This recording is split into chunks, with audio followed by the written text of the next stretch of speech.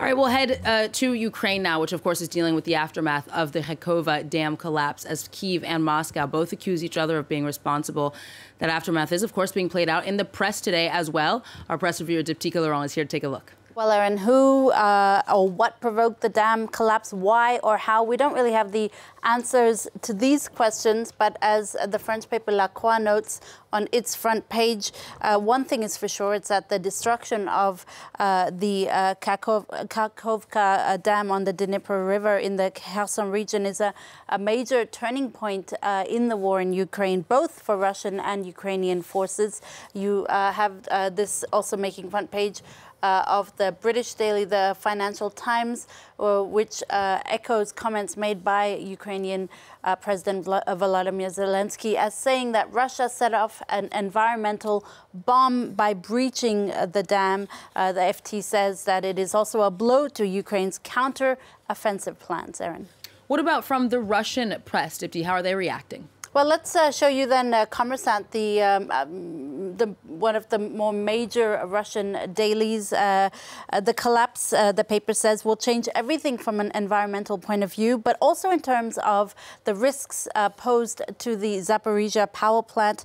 the paper says that experts believe that there was no explosion and that the dam collapsed really because of structural damage linked to previous shelling. Meanwhile, videos have emerged on social media media showing the aftermath of the dam collapse for locals there. There's uh, one video here. Let's see if we can bring it up for you uh, that shows uh, it's from a Ukrainian account showing. Um, uh, um, the rescue of cats and dogs in the local area, and you really get an idea of just uh, how uh, desperate the situation is there for humans and animals, of course. Uh, there was an earlier video as well uh, that really shows exactly what happened when the dam burst. You see houses actually floating away. It really uh, brings home the reality of what's happening over there, Erin. All right, Dipti, we'll move on now to another story making headlines. That's the shock merger of the Saudi based uh, LIV Golf League and the PGA.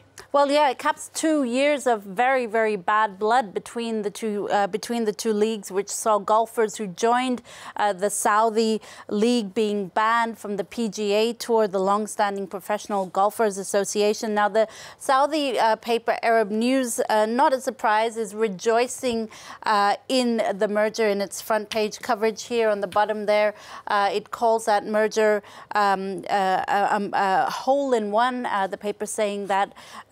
The uh, Saudi-based LIV Golf Circuit was a much-needed alternative to the usual tour events for golf. Now, I quote, the most bitter war to engulf a sport that has been around for six centuries is, has come to an end with this merger between the American PGA and European DP World Tour with the LIV, with Saudi's LIV Tour. A merger that also vindicates the Saudi LIV backers for believing in their product. That's uh, the perspective from the Saudi press. Now, from the English speaking press, it's not quite the same story. This is from uh, USA Today on its front page here in this column, uh, this writer says that the PGA LIV deal means that golf will never be the same. Um, the paper, the columnist uh, calling PGA and LIV organizers frauds.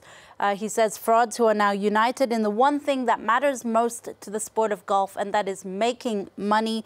Um, the columnist accuses PGA to, uh, organizers of ignoring Saudi Arabia's uh, human rights record and calling the LIV circuit a quote unworthy, unserious rival. And you get pretty much the same perspective from the British daily The Guardian here in this article, uh, which uh, echoes comments made by an expert that this deal is, the, is a gigantic victory for sports washing, uh, noting that it also transforms Saudi Arabia from a disruptor on the outside to now a major player when it comes to global sports, Erin.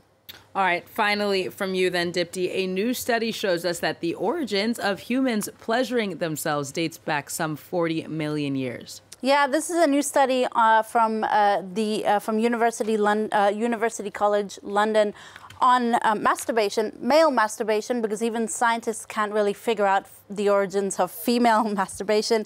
Um, researchers spent a lot of time, Erin, uh, sifting through documentation about masturbating apes from tens of millions of years ago. The study arose because researchers were trying to, uh, well, they were, sort of came up uh, against what seemed to be, at least at, at first glance, an ethical, con- uh, evolutionary conundrum, rather, that masturbation is seen as wasteful and risky for reproduction purposes. So, why was this monkey business going on? Well, from their research arose some answers. Masturbation was actually an essential part of evolution. Uh, for primates, for instance, it increased arousal, which meant that they could impregnate and mate quicker than a rival.